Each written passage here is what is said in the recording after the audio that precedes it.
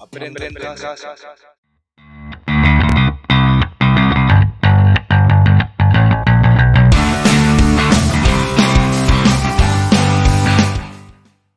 Hola, buenos días. Hoy vamos a resolver un problema sobre flujo magnético e inducción.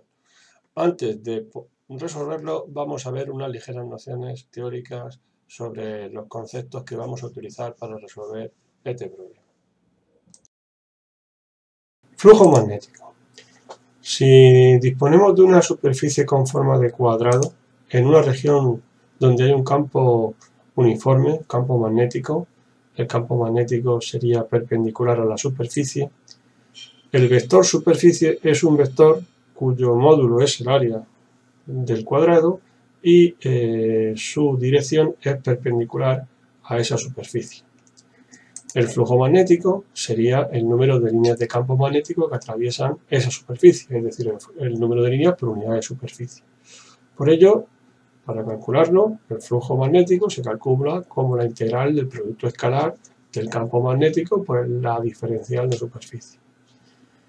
Hay que tener en cuenta que es un producto escalar y lo calcularíamos como módulo del campo magnético por módulo de diferencial de S por coseno del ángulo que forman los dos vectores.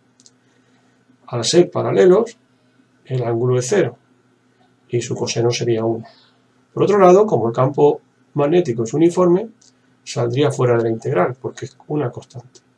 Al final, haría que el flujo es igual al campo por la integral de diferencial de superficie, es decir, campo por diferencial de superficie. Si disponemos ahora de una barra que se desplaza a lo largo de dos eh, cables paralelos cerrándose en un, circuito, en un circuito, antes de empezar a moverse, el flujo magnético a través de esa superficie sería igual que el que hemos calculado anteriormente. No hay ninguna variación de flujo. Si la barra se desplaza a lo largo del eje X con una velocidad uniforme durante un intervalo de tiempo diferencial de t, es decir, un intervalo de tiempo muy pequeño, como vemos en la animación, aparecería una superficie, una diferencial de superficie, aparecerían nuevas líneas de campo, esa superficie tendría su vector diferencial de S y hemos visto que la barra pues ha recorrido durante un tiempo diferencial de t un espacio diferencial de x. Eso nos va a permitir calcular el módulo de esa diferencial de superficie.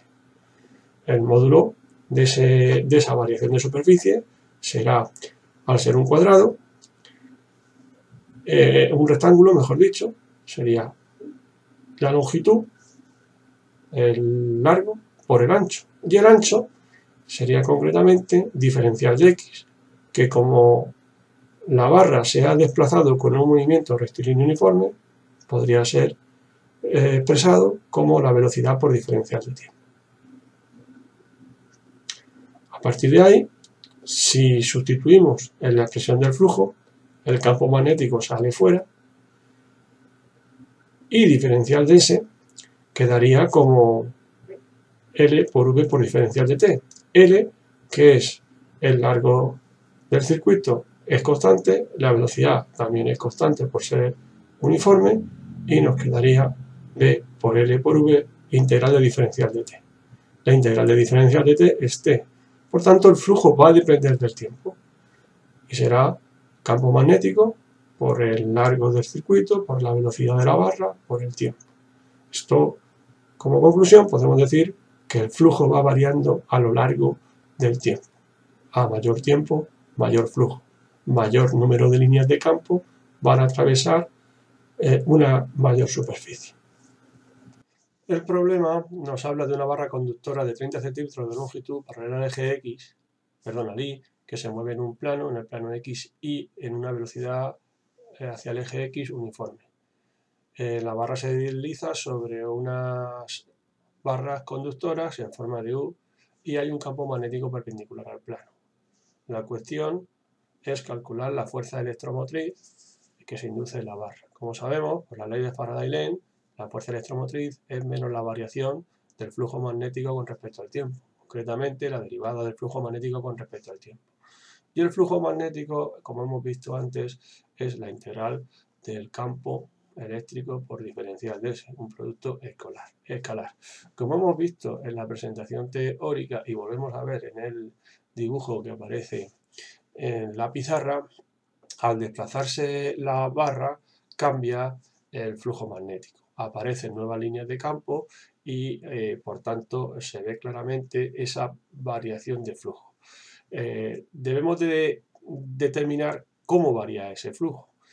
Ese flujo va a depender de cómo vaya aumentando la superficie. En el caso que nos ocupa, el campo magnético es constante, no varía, y lo que va cambiando con el tiempo es el tamaño de la superficie. Es un rectángulo que al desplazarse hacia la derecha, pues tendremos eh, que va aumentando su superficie. Vemos que el campo magnético y el vector diferencial de S, que es un campo, es un vector perpendicular a la superficie, son paralelos y por tanto el ángulo que forman es cero. Con lo cual podemos determinar que el flujo será la integral del campo por diferencial de S, ya sin el signo de vector. Vamos al caso A. La velocidad de la barra es constante e igual a 10 elevado a 2 eh, y metros por segundo. La velocidad se está, en la dirección del eje X. En este caso, diferencial de S será el área que se va generando y será el largo por el ancho, que será L por diferencial de X. Diferencial de X es V por diferencial de T.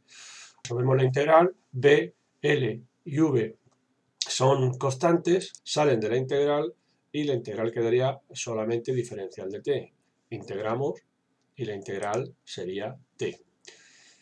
Ahora, para calcular la fuerza electromotriz inducida, como la menos variación del flujo magnético en el tiempo, derivamos y eh, nos quedaría que la expresión es menos el campo magnético por la longitud por la velocidad.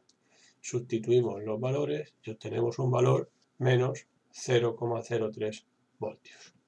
Para el caso B, el movimiento ahora de la barra, en lugar de ser un movimiento rectilíneo uniforme como en el caso anterior, es un movimiento rectilíneo uniformemente acelerado. Por tanto, la velocidad, a diferencia del caso anterior, va a depender del tiempo. Escalarmente, la velocidad será la aceleración por el tiempo el diferencial de superficie va a variar de forma diferente. En este caso, al ser eh, el área de la superficie que se va generando por el desplazamiento, será el largo por el diferencial de x. Diferencial de x sigue siendo v por diferencial de t, pero al sustituir quedaría como longitud, es decir, el largo por la aceleración por el tiempo por diferencial de t. Esto nos permite calcular el flujo eh, magnético como la integral del campo por diferencial de superficie. En este caso, quedaría la integral del campo por la longitud, por la aceleración por el tiempo, por diferencial de t. Todas las variables constantes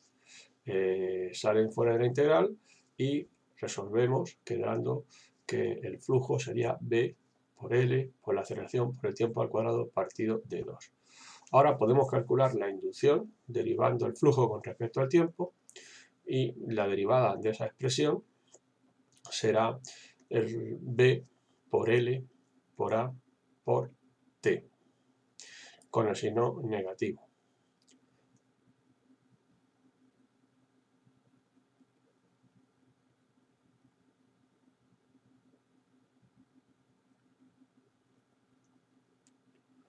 Podemos sustituir los valores de campo, de longitud, de aceleración y nos va a quedar una fuerza electromotriz en función del tiempo. Es decir, conforme el flujo vaya variando más rápido, habrá más fuerza electromotriz. Recordemos que esa fuerza electromotriz lo que pretende es inducir o bien crear una corriente eléctrica que cree un campo magnético que se oponga a la variación de flujo, de ahí el signo negativo de la ley de Faraday. Y aquí quedaría resuelto el problema.